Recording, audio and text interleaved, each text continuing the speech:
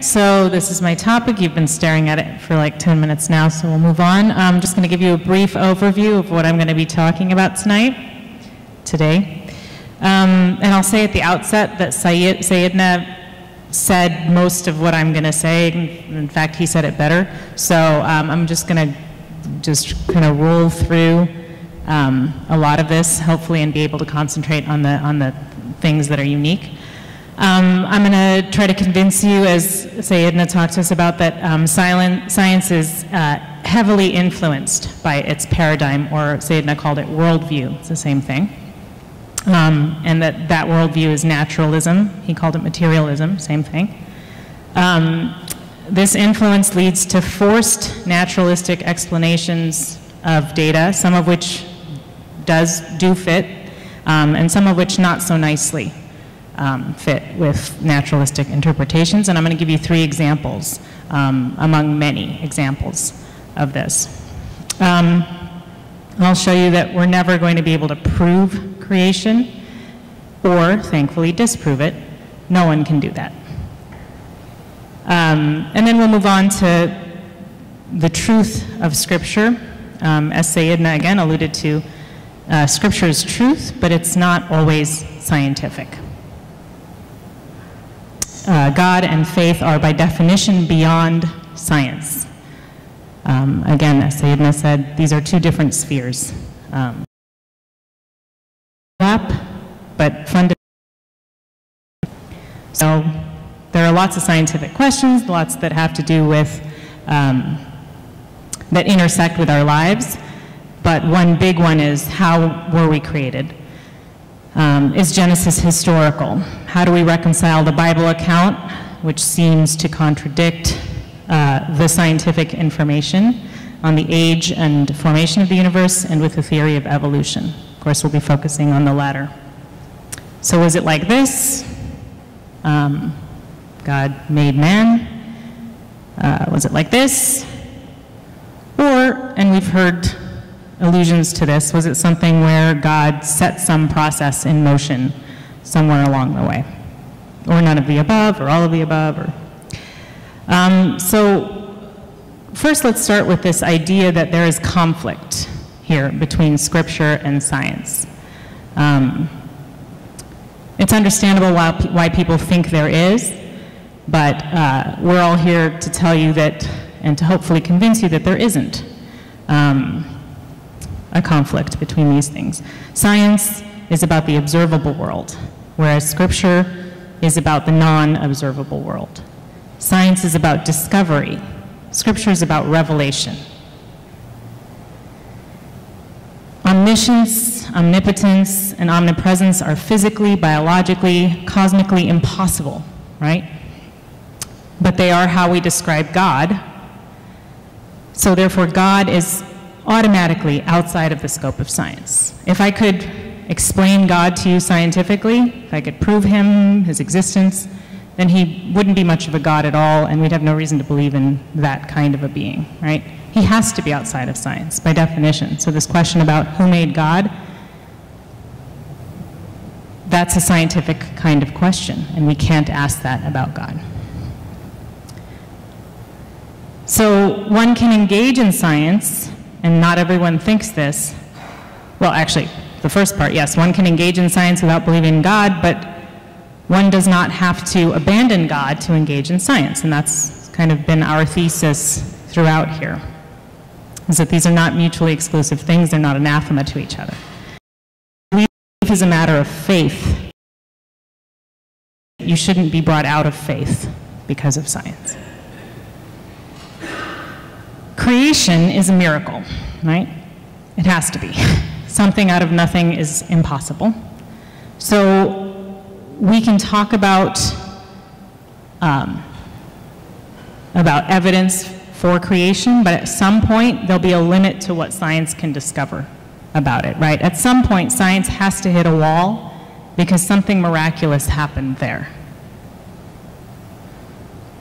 To some extent, though, we can scientifically describe God's handiwork, and that's what um, one of the joys of we as, you know, of us as scientists is we get to do that. All right, so science has a paradigm, has a worldview. Um, this is an illustration of an elephant being touched by many, many blind people, and every single one has a different interpretation of what this thing is.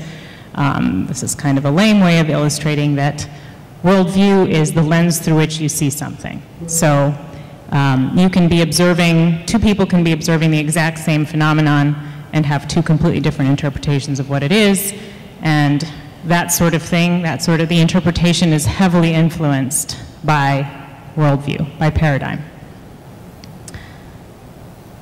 Um, even though science is not a person, science definitely has a paradigm.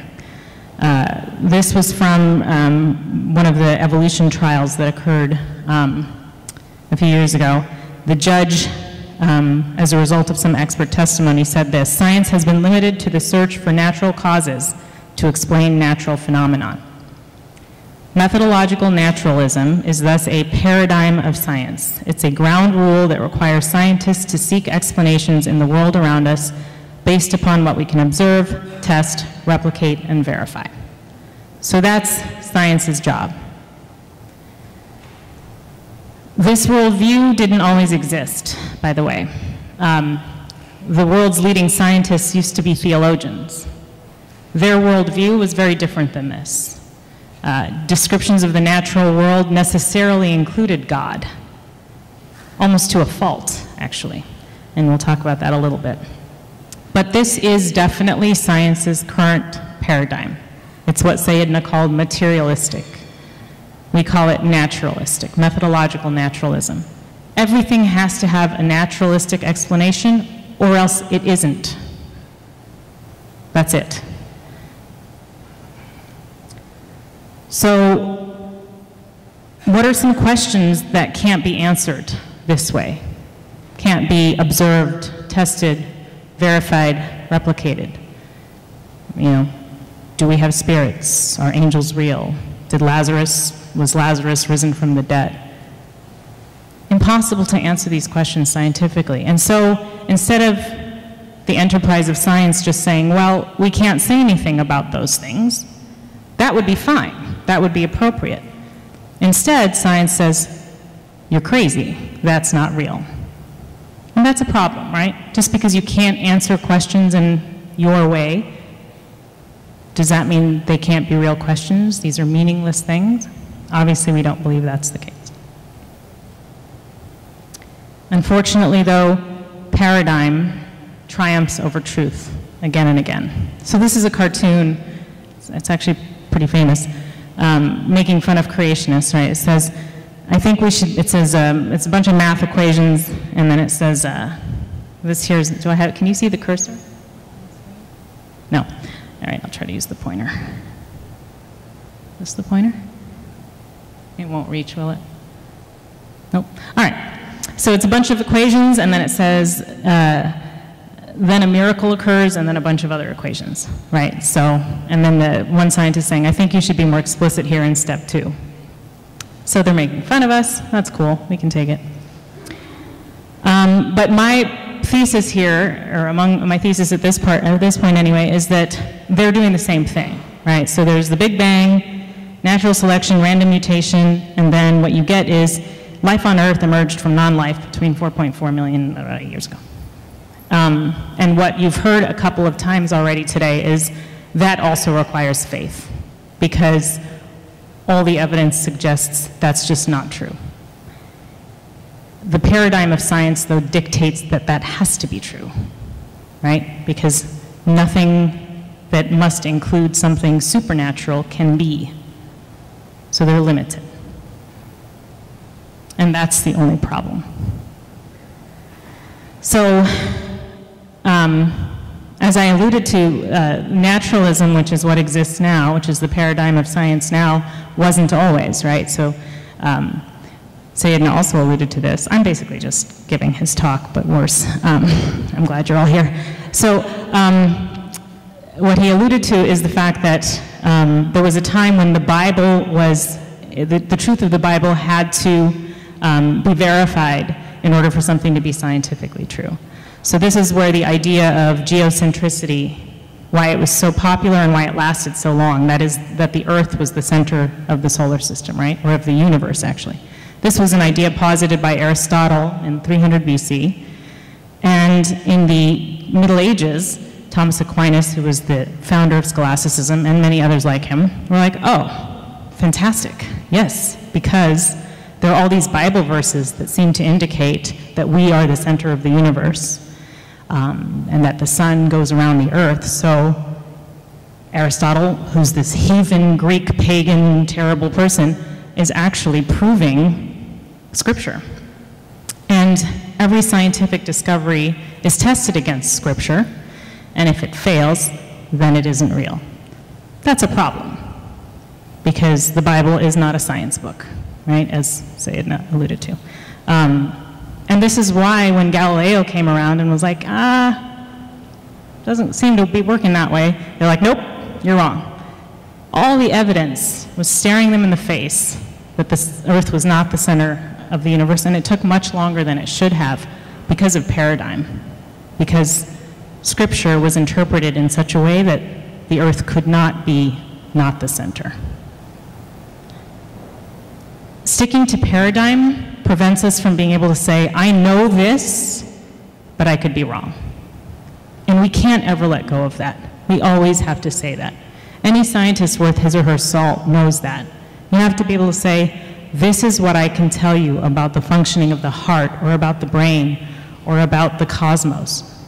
But I could be wrong.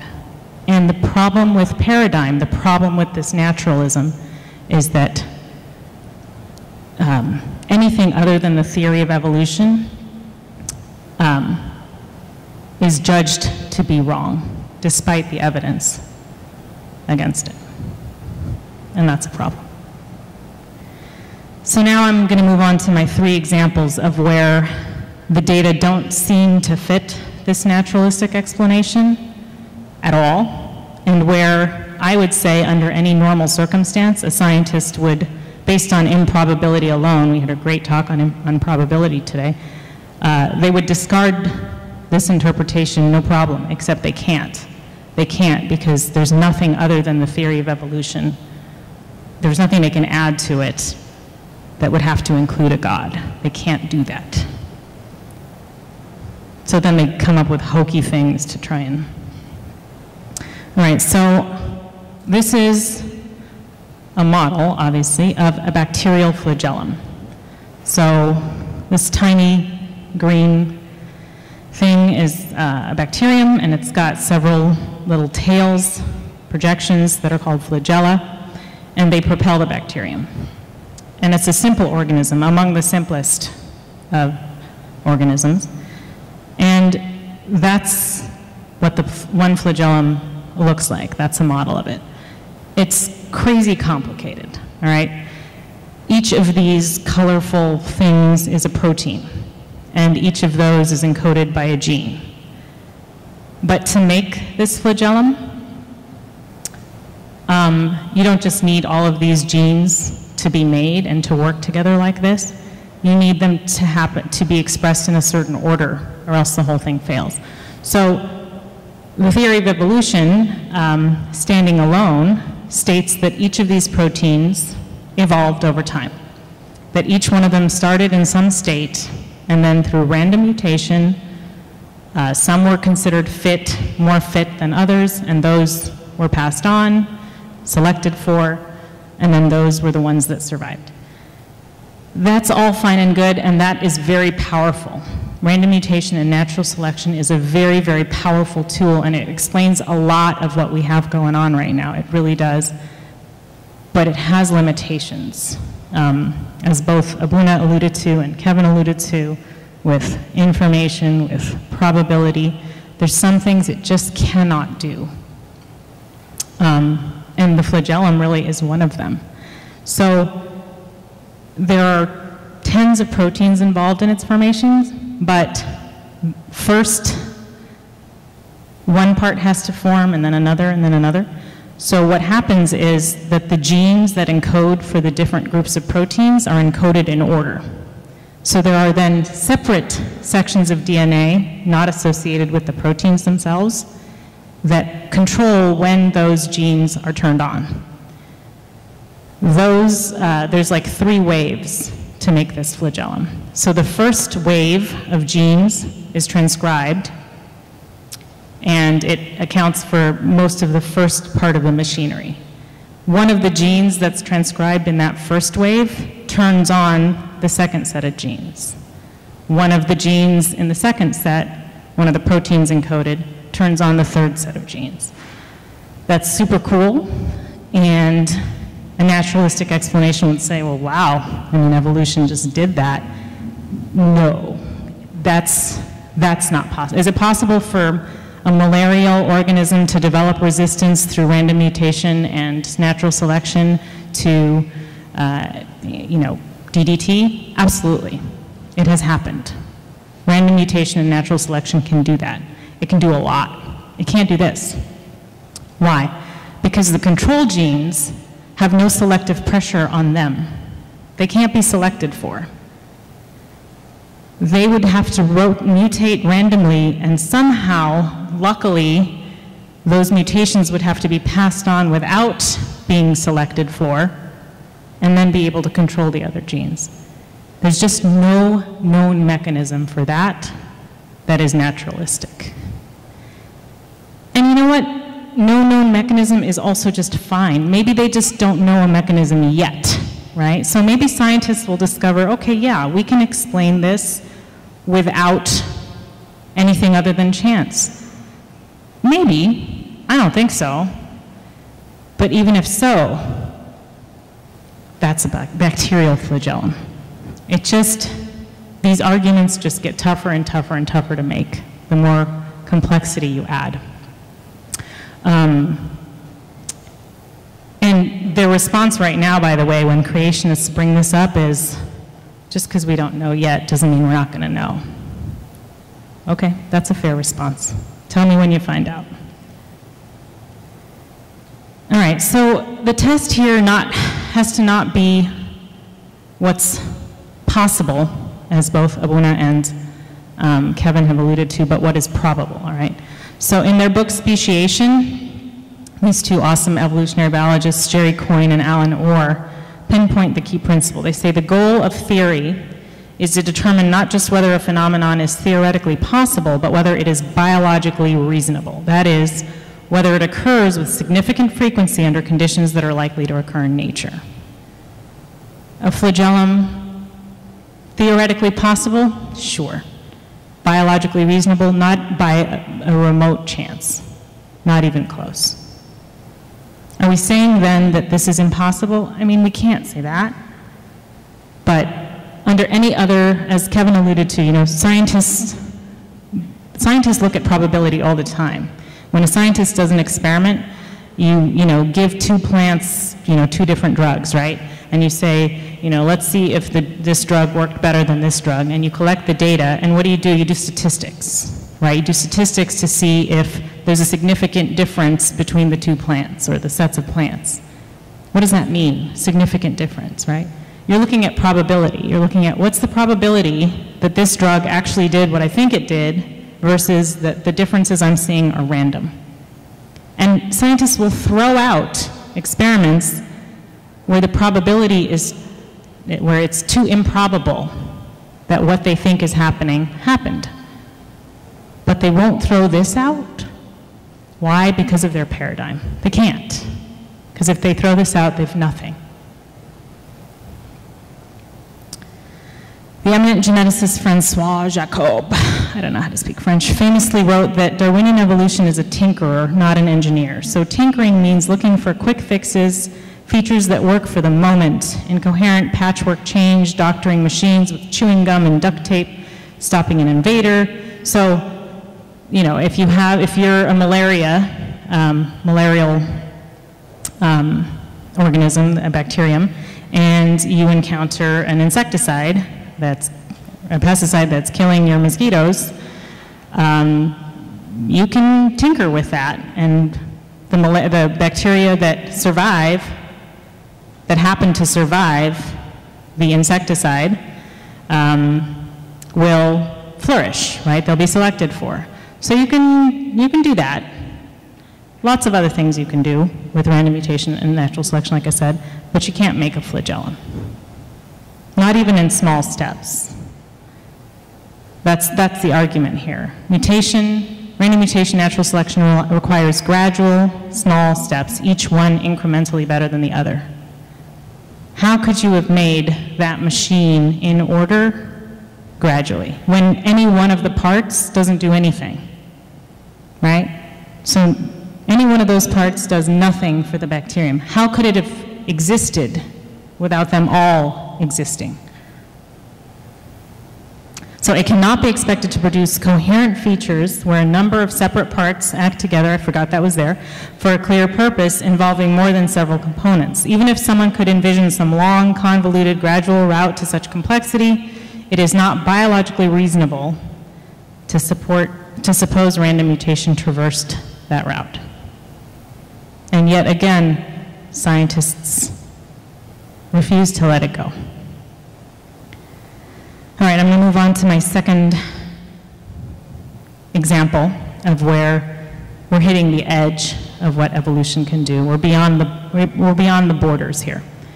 Um, this is a taxonomy, so this, this system was developed by Carl Linnaeus in the 1700s, I think, um, where to classify organisms, right?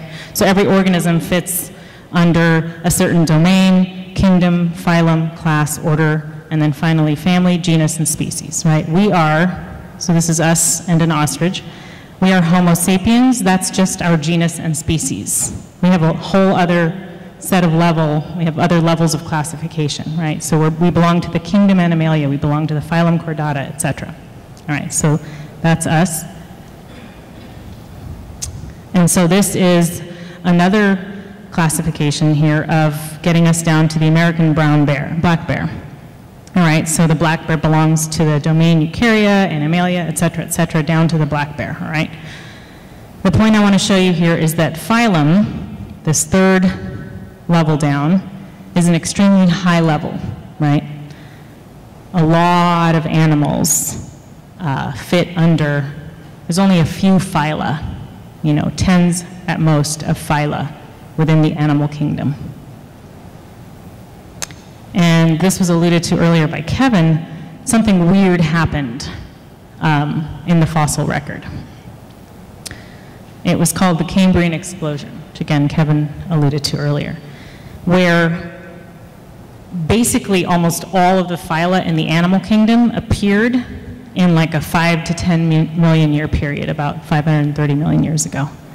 That is too fast for random mutation and natural selection to occur straight up. For that much diversity to occur in, I know five to 10 million years doesn't sound like a little bit of time, but it is a blip. If you look at, we've time plotted on the x-axis here, um, from present back to 530 million years ago, and then back to basically life on Earth is the end of, is the, is a zero on that axis. The Cambrian explosion was a tiny blip here, and yet look at what happened as far as the number of phyla that appeared. So this is basically impossible, right? From a random mutation natural selection point of view, that's not enough time for enough mutations to accumulate and be selected for, for you to get this sort of diversity. In fact, it made the cover of Time magazine when it was discovered. This is a 1995 Time magazine cover, and they called it, cleverly, uh, Evolution's Big Bang. This is, new discoveries show that life as we know it began in an amazing, in an amazing biological frenzy that changed the planet almost overnight. All right, so this was kind of stunning to biologists and non-biologists because uh, it was something in the fossil record that really just didn't fit. So just let me back up a sec. So we know that the fossil record um, fossils are remains of creatures past, either actual remains or imprints of the creatures, and um, they are found in, in rock, right? So in geological layers of the earth. And for the most part, um, more primitive creatures are found in older layers of rock, which are deeper. And then more advanced creatures, or evolved or complicated creatures, are found uh, more and more and more as you go more and more superficial, right? Um, so, and this is really very good evidence for the theory of evolution, right? For the theory of common descent, which is part of the theory of evolution, that we, got, we went from simple to complex in time. No problem. That's all good. This is a problem, all right? This is a thin layer of rock that has a ton of animals suddenly occurring. Has to be gradual or the whole theory just doesn't work, unless something else comes in.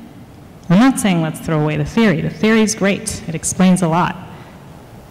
But where it doesn't explain, you got to think there's a different explanation. That's reasonable. That's not what scientists do. Darwin himself said um, of the Cambrian explosion, to the question why we do not find rich fossiliferous, I don't know why he thought that was a word, uh, deposits belonging to these assumed earliest periods prior to the Cambrian system, I can give no satisfactory answer. So basically, um, the ancestors, we, we don't find a gradual lineage in the fossil record uh, that would lead to this explosion of life in the Cambrian era. And you know, there, is, there still isn't a satisfactory explanation, by the way.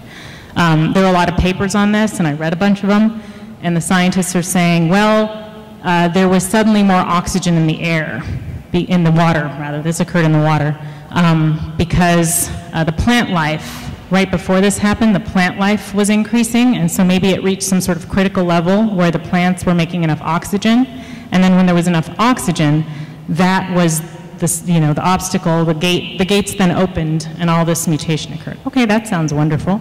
Um, another theory is, hypothesis is that um, vision developed in these animals. And so as soon as vision developed, predation happened, right? Because before this, when animals couldn't see, they couldn't chase each other and eat each other. It was a simpler time. But, um, but as soon as vision developed, predation became a thing, and then that became a selective force, a strong selective force that then uh, just increase the amount of natural selection that occurred. That's great too. Those both make a lot of sense to me. But this is still not enough time for that to have happened, and no one has addressed that. This is a PNAS, Proceedings of the National Academy of Sciences paper. It's a very prestigious scientific journal. Um, and this is someone writing, assuming the spontaneous mutation rate to be a generous 10 to the ninth base pairs um, per year, and also assuming no negative interference by natural selection, it still takes 10 million years to undergo 1% change in DNA-based sequences. It follows that 6 to 10 million years in the evolutionary timescale is but a blink of an eye. The Cambrian explosion denoting the almost simultaneous emergence of nearly all the extant phyla of the kingdom Animalia within the time span of 6 to 10 million years can't possibly be explained by mutational divergence of individual gene functions. So his conclusion is that the genes all had to already be there. Yeah, we would say the same thing. All right, so my third example. And this was a question we got earlier. Um, what about human evolution, right? We're okay with other organisms having evolved simpler life forms to more complex. What about us? Are we okay with that? So this is one model. And this actually does happen, I think. Uh, evolution and devolution. I love that one too. but this one is the one I'm honestly hoping for. Um, so from ape to ape man to man to Superman. I'm really hoping that happens. But no, so, so this is what people think, um, evolutionary biologists think happened. And let me first say, this is not what evolutionary biologists think happened, all right? There's no scientist on the planet who thinks we evolved from apes. Okay? That's not the theory. The theory is that both monkeys and humans evolved from a common ancestor. Okay? So let's first clear that up. Um, the remains of that common ancestor have yet to be found. Um, but in any case, again, this, you know, in fact, I think a lot of lay people, whether they're Christian or not, or evolution, you know, believe in evolutionism or not, um, think that the theory goes that we evolved from apes, and that's just not how the theory goes. So the question for us then as Christians is, are we okay with man having been a lesser creature at some point? Some sort of more primitive, non-ape, but some, some sort of primitive primate? Is that how man came about? I'm going to present the thesis here that the answer to that is no. Um, I'm going to posit that God created modern man as he is. Now, there's some evidence of human evolution from an earlier life form, but it's not at all definitive, this evidence. It's based on admittedly partial and imperfect data, and its details are controversial in the scientific community, uh, with DNA evidence not always agreeing with the fossil evidence. So I should tell you, it's not controversial that humans evolved in the scientific community. They all know that's what happened. There's a faith there. But what the, the lineage is, nobody agrees on because the data are really quite poor, actually, for this. But even if they find out definitively, right, if, if the data, be, you know, or the more evidence is collected and this becomes clear and there's a clear evolutionary tree that can be drawn with DNA evidence, um, I'm going to go ahead and abandon my thesis. And I'm okay with that. It's important to be willing to do that. They won't, but I'm better than them. No, I'm kidding.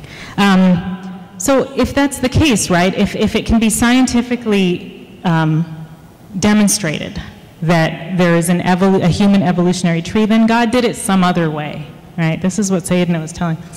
I don't need to know how. I don't care how. I mean, I care because I'm a scientist, but I know that he did. And then it'll just be more complicated than I can understand. No problem. Does Jesus still love me? Yes. Okay, then. I'm set. So, and we may never know, right? And that's okay. So these are, this is a sampling of skulls found that are hominid, that have been classified as hominids. So hominid is a family that goes right above genus and species, right? So hominids include Homo, which is our genus, and then other non-human primates are called hominid. Hominid means bipedal. Homo are the only bipedal creatures still in existence, but many have existed before. There is evidence that that's the case, right? They have found these skulls of bipedal creatures that were not Homo, some of them. Some of them were Homo something, and then of course we are Homos. So uh, the um, smeared lines uh, indicate the amount of time that the creature was thought to have inhabited the earth. Um, obviously, the, y, the x-axis on top is the passage of time. Um, and then blue here indicates those of the Homo genus, and then there are other genuses, genera actually, um, represented in the hominid family. The thing is, and I have no problem with any of this, I can't because there are data. Um, what, are the, what are the connections? So is there a connection between Homo sapien and the others? Can we trace back Homo sapiens tree? And we can't with too much confidence, okay? Look at these lines that are supposed to be the theoretical tracing. This is all theory, right? The, the skulls are real, but the connections between them are theoretical. Um, but a lot of these lines just kind of peter out, hoping no one will notice maybe. Um, but that's because they don't know what the connections are. Look at this dude. Um, this is the one that's supposed to connect Homo sapiens with earlier creatures, and that's all they have. So that's a pretty impartial skull. Um, and the DNA evidence actually does not support the same lineage here. Here's another possible lineage connecting Homo sapien to earlier hominids. Um, but again, these are inferred relationships without clear fossil evidence. So for now, We don't have clear fossil evidence or DNA evidence that suggests that Homo sapiens evolved from earlier hominids. We don't have it. So I like to think that, because this is the simplest explanation given my worldview of Christianity, that God made man this way. Maybe a little hairier or dumber. Um, definitely dumber. But, um, but basically this way. Um, and that that's when he breathed life into us, and that's when he gave us a spirit. But if they find out that, yeah, there's a lot of evidence and they get more evidence and whatever, okay, then God did it a different way. I have no problem with that. Neither, neither should any of you. Um, there's also archaeological evidence that suggests that Homo sapiens were a unique creature. Um, around 40 to 80,000 years ago, as if out of nowhere, there was an explosion. This one is an archaeological explosion, like the Cambrian, but not um, where complex tool use, music, sculpture, and painting all seemed to suddenly emerge. Um, and it wasn't, again, a gradual, other tools and, and, and, archaeological sort of findings, you can see a gradual evolution toward more complex um, tool use. Uh, this was an explosion at around the time that Homo sapiens came into being. It's circumstantial evidence. It's not definitive, but it's something. There's also some DNA evidence. So um, this is a science paper here. Science and Nature are like the two top journals in um, the life sciences. Um, not even the life sciences, in science.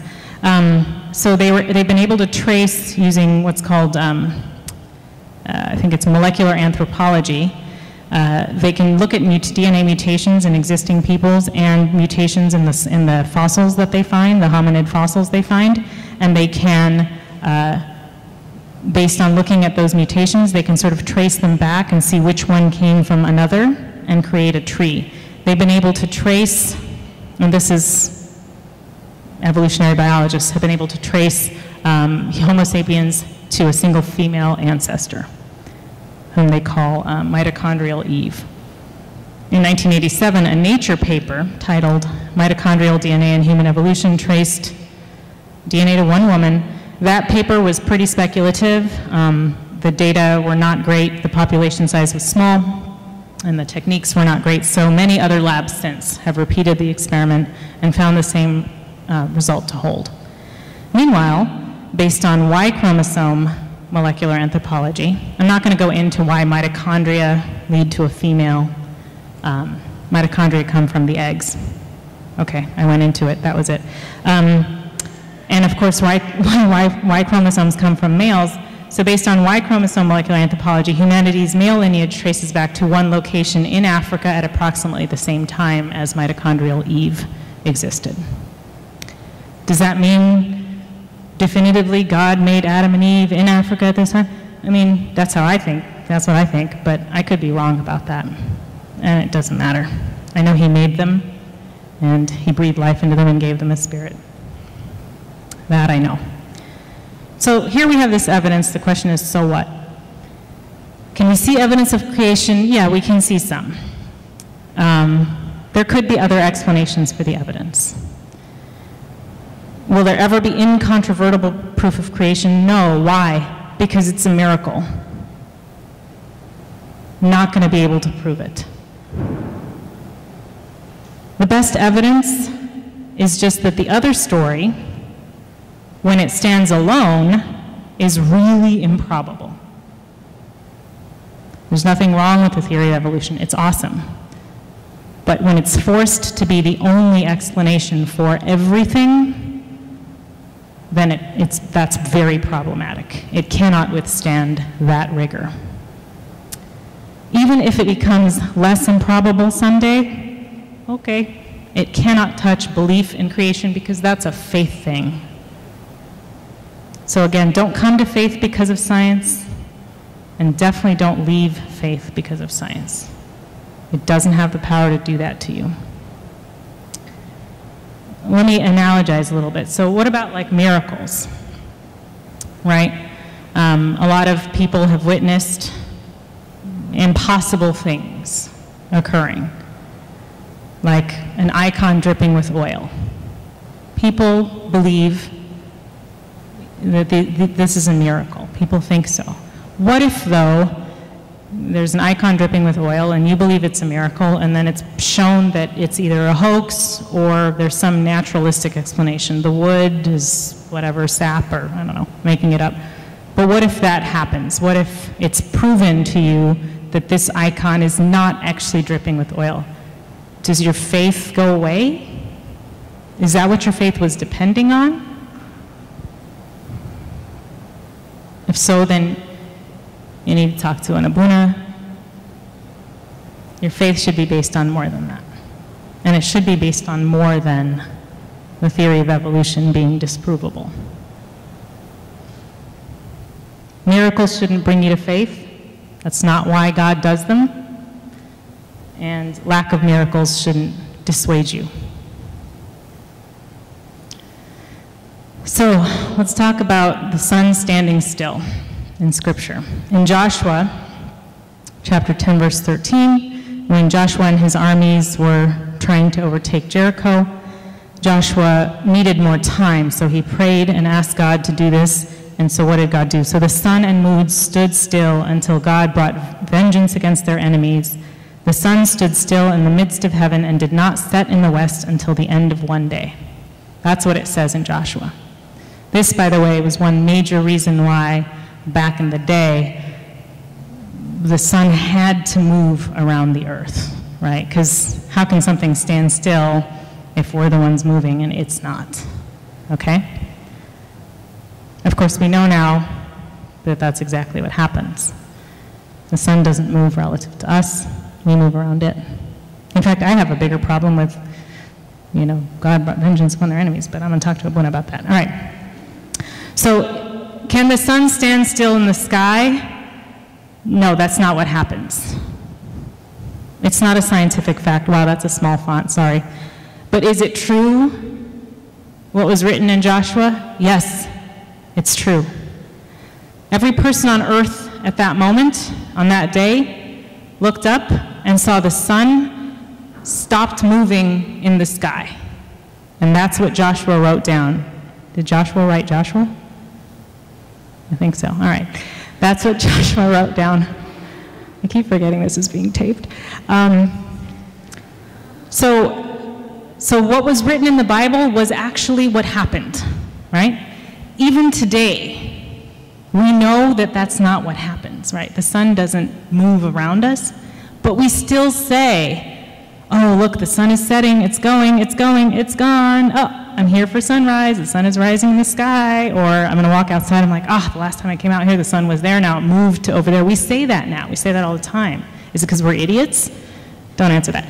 But because this, we're, not, we're not making a scientific statement at that moment. I know that I'm the one moving at a thousand miles per hour. But if, you, if the Holy Spirit who inspired Joshua was like, oh, by the way, what happens is you're moving really fast. I know you can't feel it. And it's you who stopped, and then it made it look like the sun stopped. Should Joshua have written that down? Should the Holy Spirit have revealed that much scientific detail to Joshua? What would have happened to Joshua's message? Lost, right?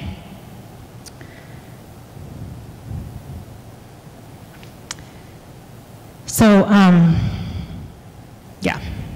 So if every word in the Bible needs to be science, then this verse is either, you know, a result of ignorance, or it's a lie, or we can say that Joshua was not inspired by the Holy Spirit when he wrote down his, his testimony, and we don't have to say any of that.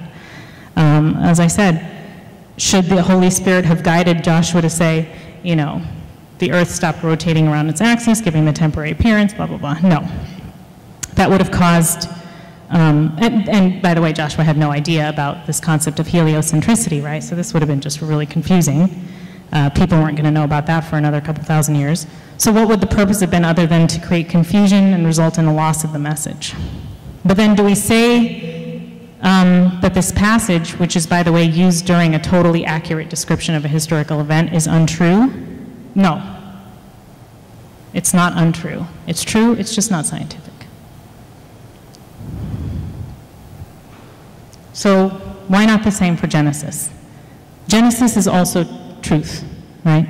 That God created everything from nothing, that he made man in his image, and that man fell and required salvation. It's not just truth, um, but it's central to our very faith, this story that's told in Genesis. That's what Sayedna was referring to. So the Bible is so many things. It's history, it's parable, it's poetry, has didactic parts, it's lamentations and praise, it's prophecy, it's revelation, and not remotely all of it is meant to be literal. So why is it so hard for us to accept that? Why do we learn about what scientists have discovered about the natural world and think that it can't be compatible with the essential truth of creation? The word day, as again, again Sayedna alluded to, gets a lot of attention. The timeline, the order of creation, the dinosaurs, things not mentioned. But none of this is an issue unless we require that the Bible be a scientific book, and it isn't. It's, it's a truth, it's a book of truth, and, and this is what we believe, and this is a matter of faith.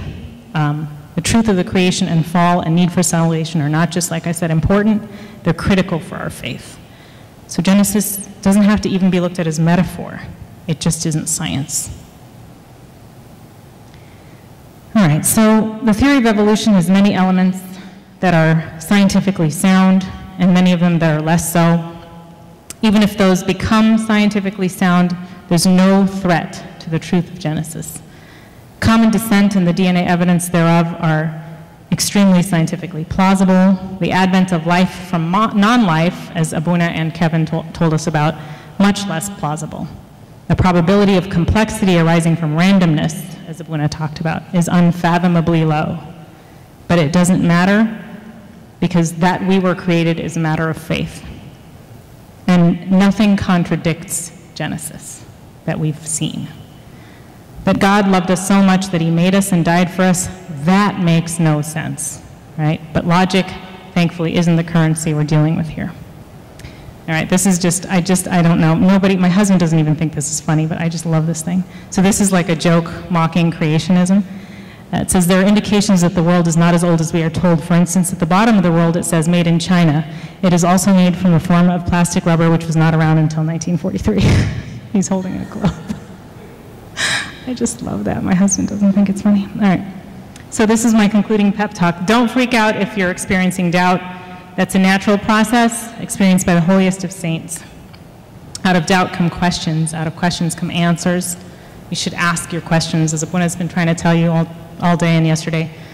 You know, blog. I don't know if that's a verb. Um, ask your questions because we need to have this discussion.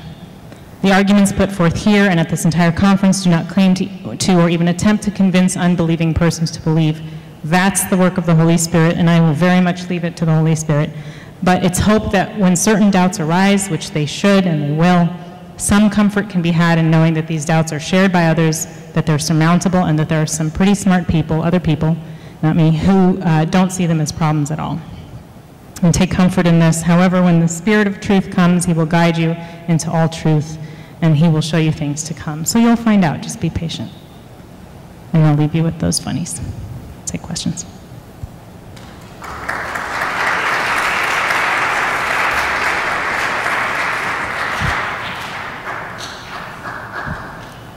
Questions?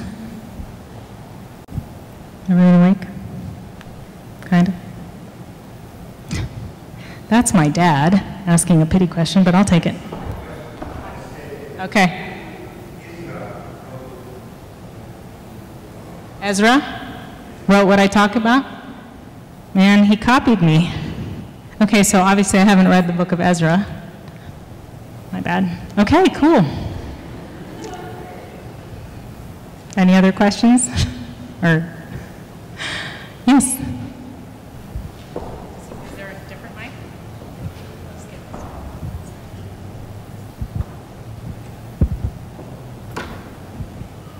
So you said the Cambrian explosion happened around like 530, 535 million years ago. Uh-huh. Um, so what is the church's stance on how old we think the world is? Like, do we believe that there were, for example, dinosaurs 65 million years ago? Or do we believe like man existed at the same time as some of these creatures and then they disappeared, or how old mankind is? Like, what is the church's belief on all of that? Um, I won't pretend to speak for the church, but I can say a little bit about this because Sayedna was just here. Um, I'll tell you this, uh, there's no problem with a 65 million uh, year old or a billion, you know, hundreds of billions of year old earth. There's nothing in Genesis that contradicts that. There's nothing in the Bible that contradicts that. There's no problem with dinosaurs. They weren't mentioned, but so much else was also not mentioned that's real. Um, I don't think the fossil evidence uh, suggests that man and dinosaurs lived at the same time. Um, in fact, it does not. Um, so that probably didn't happen. But um, yeah, there's, in any case, no problem with any of that being true. In fact, I think it is until someone shows me otherwise, and then I'll think it's not. I have a quick question. You showed a plot with the spike. Yeah. And then it, it goes down, it doesn't go up.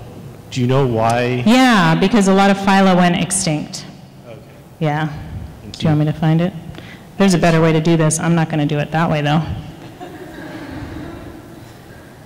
Yeah, a lot of phyla uh, that used to exist then don't anymore. Do you know why? Do we know why the extinctions happen? Because wouldn't you expect more diversification from um, to occur. In general, diversification has occurred, but not at the phylum level, right? So the diversification that continues to occur now is at lower levels. This is a really high level of taxonomical organization. Um, so in general, new phyla are not appearing, um, but, um, but yeah, uh, new species and probably genera and et cetera can. Uh, but in general, yeah, the phyla, number of phyla has stabilized.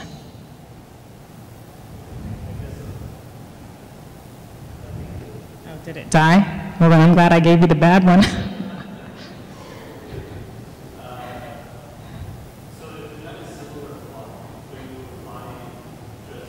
Like species? A similar spike for species? Um, and the, during the Cambrian explosion? So the question is, if I were plotting species instead of phyla, would I see a similar spike? Um, that's a good question. I don't think there were, there, each phylum didn't have a lot of uh, organisms representing it at the time, so there probably wouldn't have been a great diversification at lower levels. There were many examples of each phylum, but not as many as there are now. So no, I would think that that spike would not be replicated if we were uh, plotting lower, um, you know, taxonomical levels. But I'm not positive about that. That's my guess. All right.